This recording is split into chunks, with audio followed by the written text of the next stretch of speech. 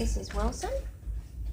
He was born April 2016 and he's got tons of toes. He's four toes shy of the Guinness Book of World Record holder.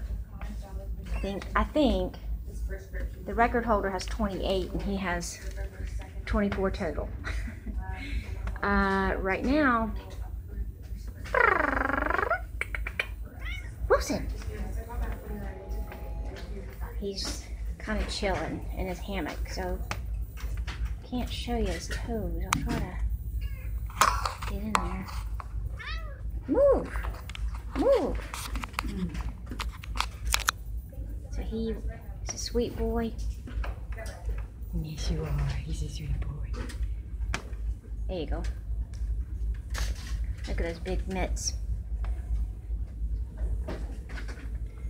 He needs a home. Yeah.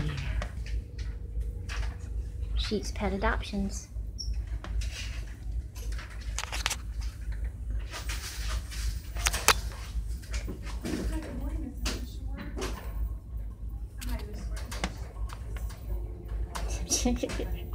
Come on, move, move. They do like their hammocks. He's looking at something. Anyway, this is Wilson.